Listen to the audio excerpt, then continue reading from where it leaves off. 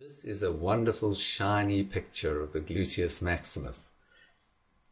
The muscle itself attaches to the back of the pelvis and then runs across attaching to the sacrum which or the tailbone and also it joins into the strong aponeurosis which is this very very thick fibrous layer which is the glue holding this part of the body together the muscle fibers then run across the buttock, and at the bottom, they form what's called the gluteal fold, which is actually a free edge of the muscle, and the triggers can occur commonly in this free edge.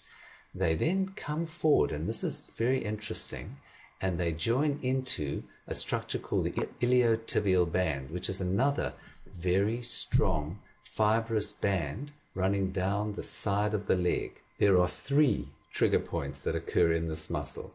The first is here, which is in the muscle fibers itself, just after it arises from its insertion there. And the second two are in the free fold, here and here. And so, looking for these triggers, you would need to lift the free fold of the gluteus maximus up and you can feel that in the inferior gluteal fold. This trigger point has pain locally around where it is and in this lower section here. The second trigger point is actually quite localized. You feel it just here, just above it. And the third trigger point, which I've covered over, doesn't matter because that's where you feel the pain. And you may feel it higher up here and you may feel it across there.